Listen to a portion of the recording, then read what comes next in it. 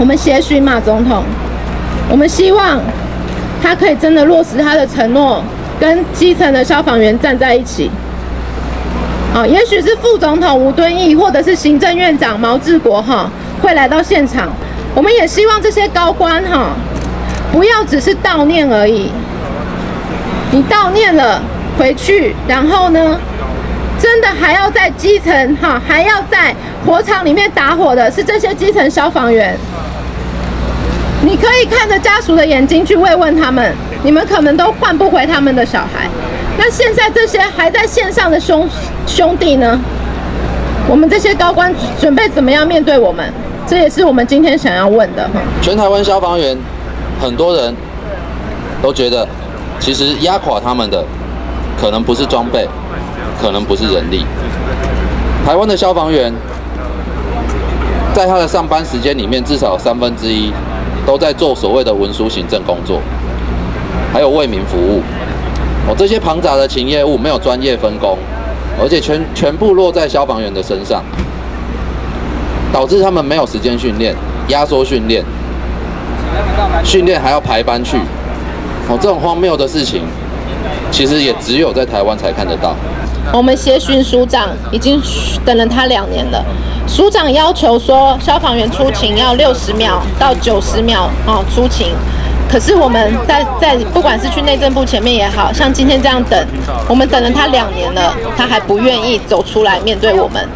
那我就不晓得，你要求消防员要快，要要做好任务好，但是你作为一个消防员最高的机关的首长，你有真的履行好你的职责吗？你有带头要保卫你底下的、为你卖命的所有的基层消防员吗？你们是只会说我听到了呢？还有嘞？那你们做了什么事情？哦，很讽刺的，昨天原本在八一七包之后，已经要动用第二预备金的一点二亿的经费，是要买给全台湾消防员的救命装备。这个是非常非常急迫需要的。我们的人命没有办法再等下去，但是又被跳票，直到什么时候？昨天，昨天才又通知说，好，这笔经费应该会成立了，应该已经通过预算了。我不知道到底上面的长官到底还要用多少条人命才会叫醒他们。仪式开始。全体与会人员，请起立。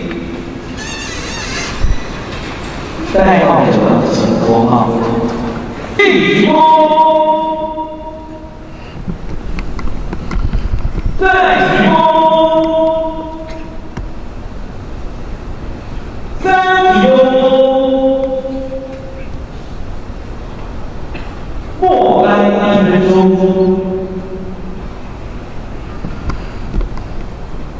颁证褒扬令。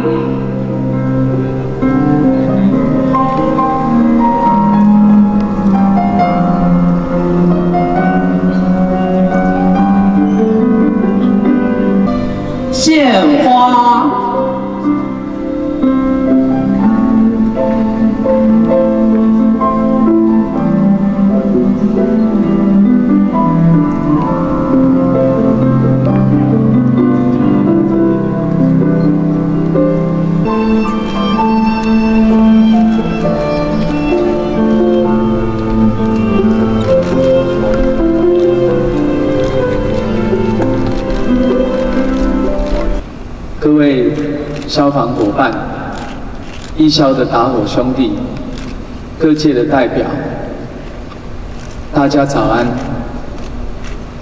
今天我们以非常沉痛、哀伤、不舍的心情来举行今天的追思会。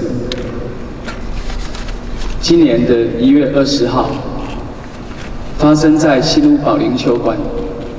那一场火警，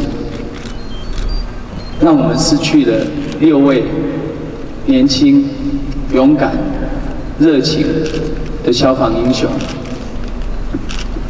他们为了保护家园，为了救灾救人，奋不顾身执行任务，英勇殉职。这样的表现，让我们感动、不舍与伤痛。陈凤祥、蔡长荣、陈业明、曾崇仁、谢君杰、张贵章，这六位勇士的名字会活在我们的心中，也会写在历史上。你们都是伟大的消防英雄，把救灾、把救难当做一生的志业，把保护家园、保护人民当做是最重要的任务。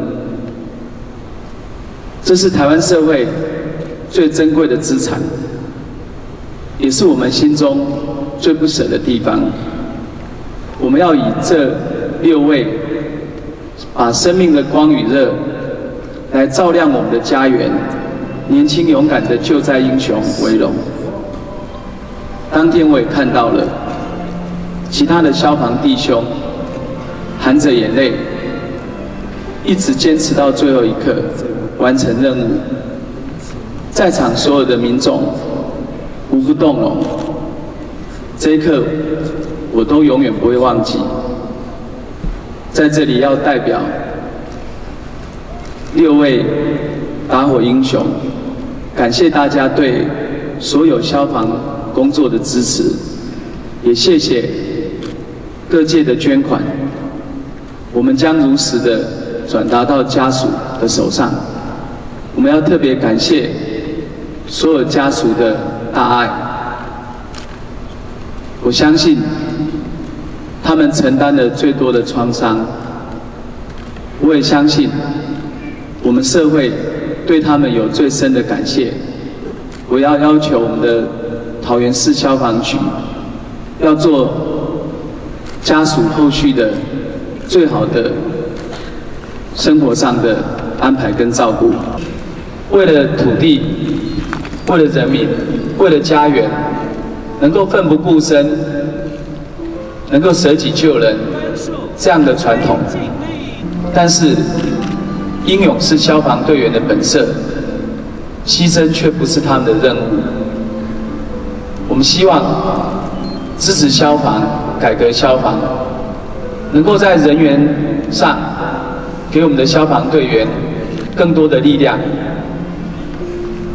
让我们的基层消防队员能够正常执勤、正常工作。也能够让我们的新进人员经过充分的训练之后，才能够上火场执行任务。所以，我也要求我们的消防局，未来所有的新进人员都必须要再经过六个月的训练，跟资深队员一同来学习了解火场，学习执行任务。我们也希望给我们消防队员。更多的资源，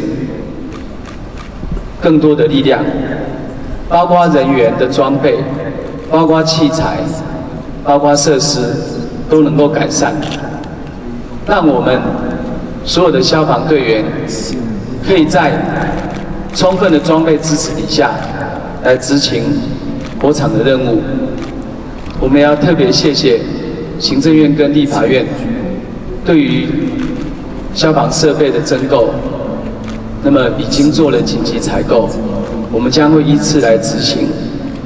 我们也希望让我们所有的消防队员可以安心工作，除了超勤的津贴之外，能够新建警消的职务宿舍，特别是许多来自中南部的乡亲，他们的孩子在桃园工作，在这里生活。